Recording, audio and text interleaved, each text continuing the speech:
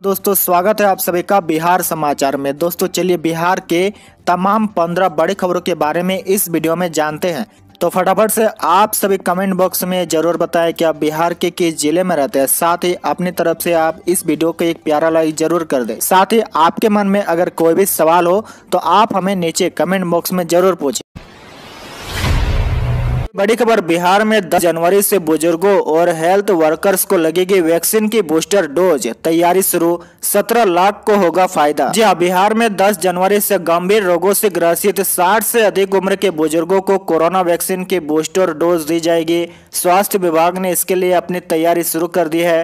राज्य में 60 से अधिक उम्र के करीब 17 लाख बुज़ुर्गों को इस श्रेणी के तहत बूस्टर डोज दी जाएगी। स्वास्थ्य विभाग ने इस संबंध में केंद्र सरकार को अपनी तैयारियों की जानकारी दे दी है। इसके तहत राज्य में 60 से अधिक उम्र के व्यक्तियों की कुल आबादी के करीब तीस फ़ीसदी को बूस्टर डोज दी जाएगी।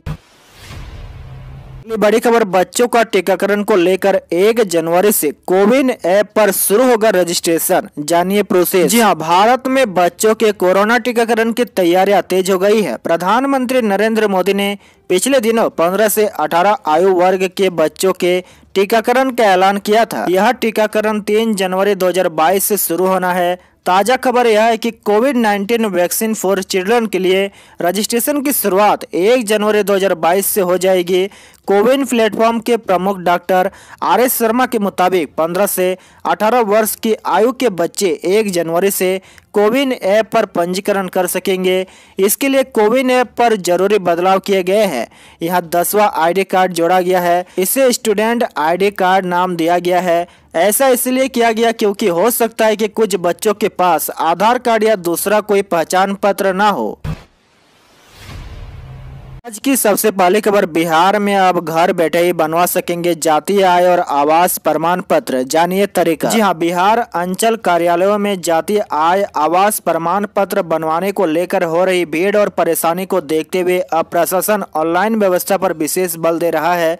अब घर बैठे ही जातीय आय और आवास प्रमाण पत्र बनाने की सुविधा उपलब्ध हो गई है। आपको बता दें कि इस वर्ष इक्कीस लाख चवालीस हज़ार लोगों ने आवेदन किया था। इसमें पैंसठ प्रतिशत लोग ऑनलाइन आवेदन दिए हैं। आगे आरटीपीएस काउंटर की बजाय ऑनलाइन प्रमाण पत्रों को बनाने के लिए आवेदन और उसे निष्पादन कर ऑनलाइन डाउनलोड करने की शत प्रतिशत सुविधा उपलब्ध करने की योजना है। आपकी जानकारी के लिए बता दें कि आवेदन करने के लिए सर्विस ऐप डाउनलोड करना होगा। इसे खोलने के बाद बाई और आज जाति और आवास प्रमाण पत्र के कॉलम दिए गए हैं। जो बनाना है उस पर क्लिक करके विस्तृत ब्यौरा को भरे। ऑनलाइन आवेदन करने के बाद मोबाइल पर एक लिंक आएगा, जिस पर प्रमाण पत्र बनने के बाद क्लिक करके उसे डाउनलोड कर सकते हैं। एक प्रमाण पत्र को बनाने में एक सप्ताह से पंद्रह दिन का समय लगता है। यदि ऑनलाइन आवेदन करने के बाद समय पर प्रमाण पत्र जारी नहीं किया गया तो संबंधित अंचल कार्यालय से संपर्क करके कर सकते हैं। खबर बिहार में ओमिक्रॉन की दशत को देखकर 31 दिसंबर से 2 जनवरी तक बंद रहेंगे सभी पार्क और उद्यान, गृह विभाग ने जारी किया आदेश। जी हाँ, कोरोना के नए वेरिएंट ओमिक्रॉन के प्रसार की आशंका को देखते हुए राज्य सरकार ने 31 दिसंबर से 2 जनवरी तक राज्य के सभी पार्क और उद्यान को पूर्णतः बंद रखने का निर्णय लिया है। मंगलवार की शाम गृह विभाग ने इस संबंध में आदेश जारी कर दिया है। गृह विभाग ने जारी आदेश में कहा है कि ओमिक्रॉन संक्रमण के प्रसार और नव वर्ष की पूर्व संध्या तक नए साल में होने वाले आयोजनों तथा सार्वजनिक स्थलों पर संभावित भीड़ को रोकने के लिए यह फैसला लिया गया है। इस संबंध में सभी जिलों को दिशा निर्देश भी जारी कर दिया गया है। बड़ी खबर बिहार लोक सेवा आयोग की मोटरयान निरीक्षक भर्ती परीक्षा की डेट जारी। जी हाँ। बिहार लोक सेवा आयोग ने मोटरयान निरीक्षक भर्ती 2021 परीक्षा की डेट घोषित कर दी है। बीपीएससी एमवीआई पदों पर भर्ती के लिए होने वाली परीक्षा का आयोजन 5 मार्च 2022 और 6 मार्च 2022 को किया जाएगा। बीपीएससी मोटरयान निरीक्षक भर्ती परीक्षा के लिए आवेदन करने वाले अभ्यर्थी आयोग की वेबसाइट www.bpsc.bihar.nic.in पर जाकर परीक्षा डेट चेक कर सकते हैं। बड़ी खबर, पटना के 24 सेंटरों पर नए साल में निःशुल्क लगेगी बिना सुई वाली जाइको डी वैक्सीन। एएनएम की ट्रेनिंग हुई पूरी। जी हाँ नए वर्ष में पटना के लोगों के सामने कोरोना वैक्सीन का एक और विकल्प रहेगा, जिन्होंने अब तक कोरोना की कोई वैक्सीन नहीं ली है।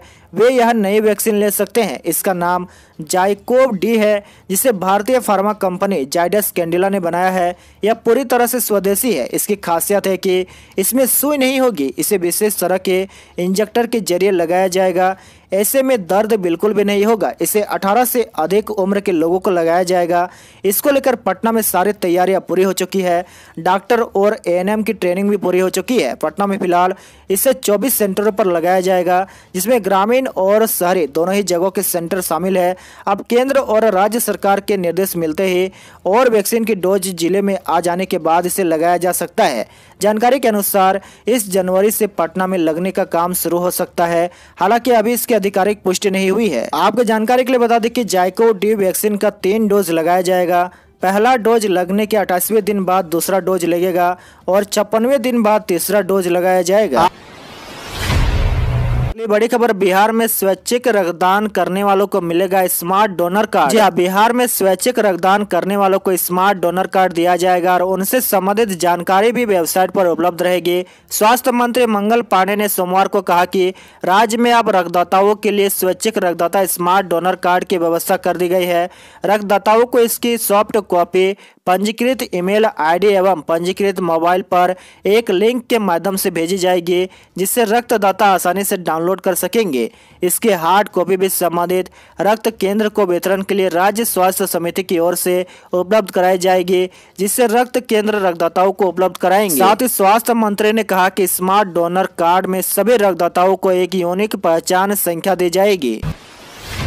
अगली बड़ी खबर, बिहार की फैक्ट्रियों में काम करने वाले प्रवासी कामगारों को मिलेगी विशेष सुविधा, नीतीश सरकार करने वाली है यह व्यवस्था। जी हाँ बिहार की फैक्ट्रियों में काम करने वाले दूसरे राज्यों के प्रवासी कामगारों को विशेष सुविधा मिलेगी। विशेषकर साल में एक बार उन प्रवासियों को घर आने जाने का किराया मिलेगा। इनकी सुरक्षा सुनिश्चित करने के लिए सरकार अलग से एक टोल फ्री नंबर भी रखेगी। श्रम संसाधन विभाग ने अंतर्राज्यीय प्रवासी कामगारों के लिए यह व्यवस्था की है। विभाग ने कहा कि अगर नियोक्ता दूसरे राज्यों के कामगारों को अपनी फैक्ट्री में रखेंगे तो उन्हें उस श्रमिक को ट्रेन, बस या किसी अन्य यात्री परिवहन माध्यम से रोज़गार स्थान से गृह राज्य में उनके निवास स्थान तक आने जाने की यात्रा के लिए किराए के रूप में एक मुफ़्त राशि देनी होगी यह राशि ट्रेन में स्लीपर से कम नहीं होगी। अगली बड़ी खबर बीपीएससी सड़सठवीं भर्ती में वैकेंसी और बढ़ाई गई। देखिए पदों की अपडेट डिटेल जी हाँ बिहार लोक सेवा आयोग ने सड़सठवीं संयुक्त सिविल परीक्षा के तहत पदों की संख्या एक बार फिर से बढ़ा दी है। इस बार वैकेंसी की संख्या में चार पदों का इजाफा किया गया है। ये पद प्रोबेशन पदाधिकारी, गृह विभाग के हैं। इस संबंध में बीपीएससी ने नोटिफिकेशन जारी कर दिया है। सड़सठवें में पांचवी बार पदों की संख्या बढ़ाई गई है। अब बीपीएससी सड़सठवें में रिक्त पदों की कुल संख्या बढ़कर सात हो गई है।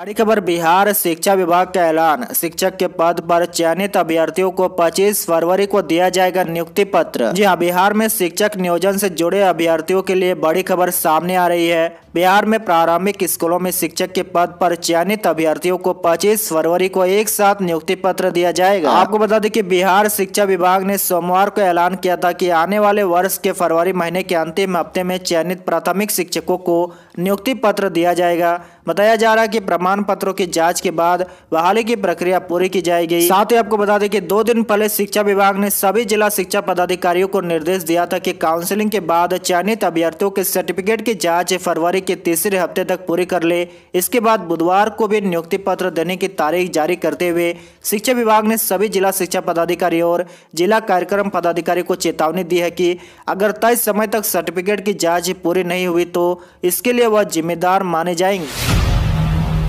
बड़ी खबर, नए साल से जेब होगी ढीले। चप्पल, जूते और कपड़ा खरीदना होगा महँगा। खाने के बिल पर भी पड़ेगा असर। जी हाँ एक जनवरी 2022 से गुड्स एंड सर्विसेज़ टैक्स में कई बड़े बदलाव होने वाले हैं, जिसके बाद कपड़े और फुटवेयर और चप्पल महँगा हो जाएगा। इन बदलावों में ई कॉमर्स ऑपरेटरों पर पैसेंजर ट्रांसपोर्ट या रेस्टोरेंट सर्विसेज़ के माध्यम से प्रदान की जाने वाली सेवाओं पर टैक्स का भुगतान करने का दायित्व शामिल है। फुटवेयर और टेक्सटाइल सेक्टर में इन्वर्टेड ड्यूटी स्ट्रक्चर में करेक्शन एक जनवरी से लागू होगा, जिसमें सभी फुटवेयर पर बारह फ़ीसदी जीएसटी लगेगा, जबकि कॉटन को छोड़कर सभी टेक्सटाइल प्रोडक्ट्स पर बारह फ़ीसदी जीएसटी लगेगा। ऑटो रिक्शा ड्राइवर द्वारा ऑफलाइन या मैनुअल मोड के ज़रिए से दी जाने वाली पैसेंजर ट्रांसपोर्ट सर्विसेज़ पर छूट जारी रहेगी।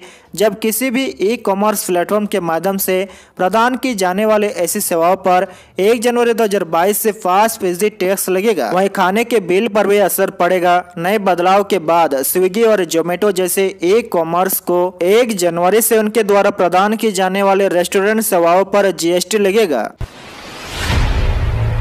अगली बड़ी खबर, सरकारी नौकरी के लिए तैयारी कर रहे अभ्यर्थियों के लिए खुशखबरी। नए साल में इस विभाग में होगी बहाली। जी हाँ बिहार में सरकारी नौकरी के चार रखने वाले कैंडिडेट के लिए नया साल खुशखबरी लेकर आया है। आने वाले नए साल 2022 में बिहार के पर्यावरण, वन एवं जलवायु परिवर्तन विभाग में कुल दो सौ इक्यानवे पदों पर बहाली की खबर सामने आ रही है। आपको बता दें कि सीएम नीतीश कुमार की अध्यक्षता में मंगलवार को पूरी हुई कैबिनेट की बैठक में विभाग के तहत होने वाले इन बहाली के लिए नए पद सृजित करने के एजेंडे पर मुहर लगा दी गई है। खबर, बिहार सरकार का नया आदेश। स्कूल के नोटिस बोर्ड पर लगेगी टीचर की रंगीन फ़ोटो। जहाँ बिहार के स्कूलों में शिक्षकों की पूरे दिन उपस्थिति सुनिश्चित करने के मकसद से सरकार ने उनकी तस्वीर स्कूल के सूचना पट पर लगवाने का फैसला किया है। प्राथमिक से लेकर उच्च माध्यमिक सभी विद्यालयों के सूचना पट पर वहाँ के शिक्षकों की रंगीन तस्वीर लगेगी। तस्वीर के साथ उनके नाम, पद नाम और उनका मोबाइल नंबर भी लिखा होगा, ताकि छात्र छात्राओं और उनके अभिभावक अपने शिक्षकों को पहचान कर सके। साथ ही शिक्षकों के विद्यालयों में नियमित रूप से पूरे दिन की उपस्थिति सुनिश्चित की जा सके।